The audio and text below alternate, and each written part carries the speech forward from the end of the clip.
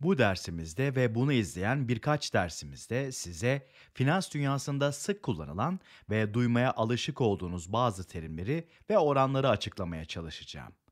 Eğer kullanılan terimleri, teknikleri, oranları ve yöntemleri bilirseniz yatırımlarınız için daha sağlıklı kararlar alabilirsiniz.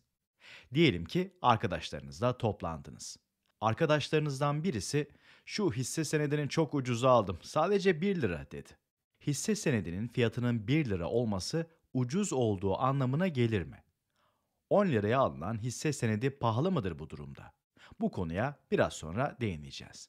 Önce hisse senedi fiyatı nedir? Bunu düşünerek başlayalım. Hatta belki de hisse senedi nedir? Buradan başlamalıyız. Hisse senedi bir anonim şirketin eşit paylara bölünmüş sermayesinin bir payını temsil eden kıymetli evraktır.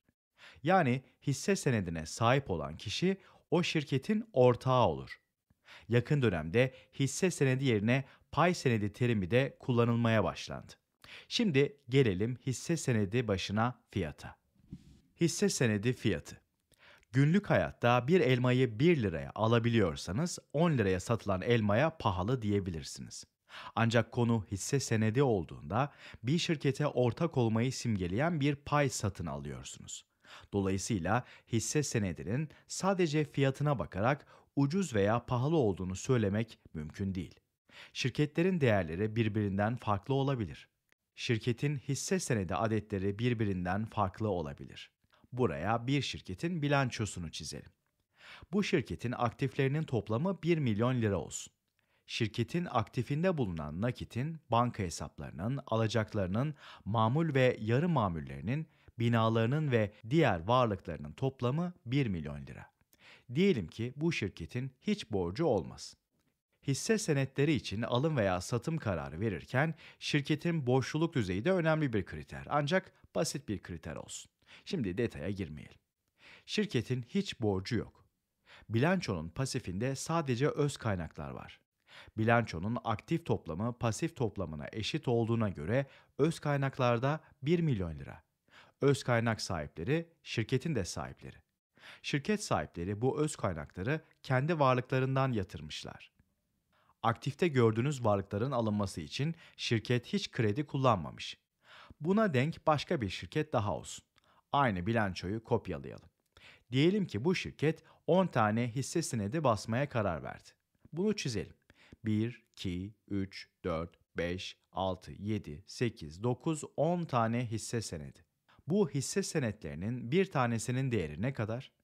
Eğer aktiflerin değeri 1 milyon liraysa bu şirketin hiç borcu yok. Öz kaynaklarda 1 milyon lira. Bu durumda 1 milyon lirayı 10 paya bölersek bir tane pay senedinin değeri 100 bin lira olur. Genelde bir şirketin pay senedi sayısı çok daha yüksek olur.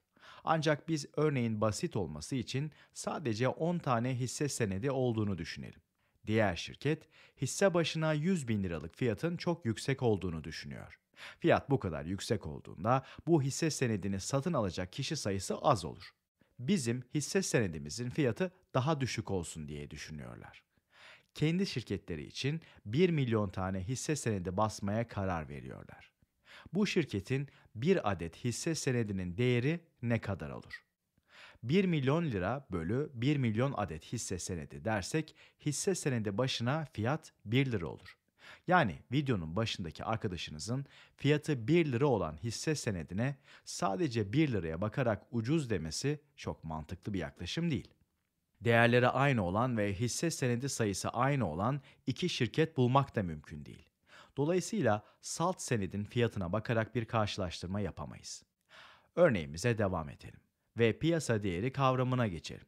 Diyelim ki bir sebeple bu şirketin piyasadaki hisse senedi fiyatı 100 bin liradan 50 bin liraya düştü.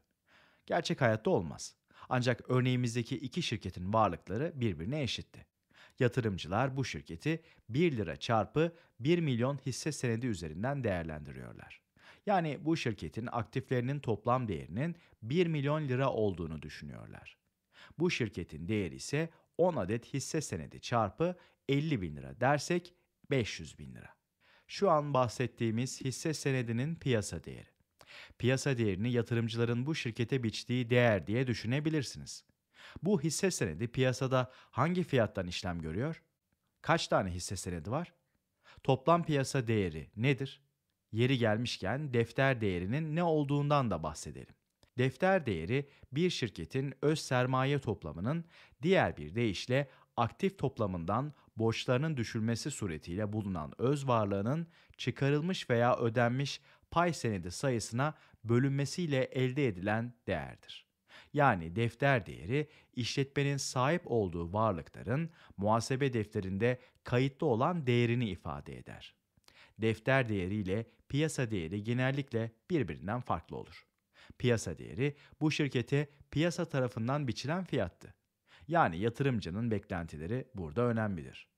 Defter değeri ise bilançoda gözüken muhasebe kayıtlarına göre belirlenen fiyat. Her ülkede aktiflerin veya pasiflerin ne şekilde muhasebeleştirileceğine ilişkin farklı kurallar olabilir. Neyse, biz örneğimize geri dönelim. Bu iki şirketin aktiflerinin tamamen birbiriyle aynı olduğunu varsaymıştık. Aynı geliri elde ediyorlar. Aynı risklere sahipler. Bu durumda bu şirketi 500 bin lira olarak değerlendiriyorsunuz. Hisse senedi başına fiyat önemli değil. Piyasada şirkete biçilen toplam değer bu kadar. Yani sadece hisse senedi başına fiyata bakarak bu şirketin hisse senedi 1 lira. Bu ucuz demek doğru olmaz. Burada 1 lira vererek şirketin milyonda birini satın alıyorsunuz. Burada ise 50 bin lira vererek şirketin onda birini satın alıyorsunuz. Düşünürseniz bu çok daha iyi bir yatırım. Sonuçta hisse senedi başına fiyatın ucuz mu pahalı mı olduğunu söyleyebilmek için incelenmesi, değerlendirilmesi gereken pek çok şey var. Bunlara ileride değineceğiz. Sadece hisse senedi başına fiyata bakarak bir şey söyleyemeyiz. Hisse senedinin işlem gördüğü fiyatın küçük olmasının etki ettiği yerse alım satımdaki potansiyel kar marjının yüksek olmasıdır.